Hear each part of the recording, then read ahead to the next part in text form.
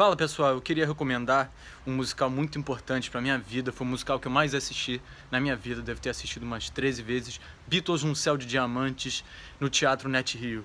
Não perca porque vale muito a pena. Beijo!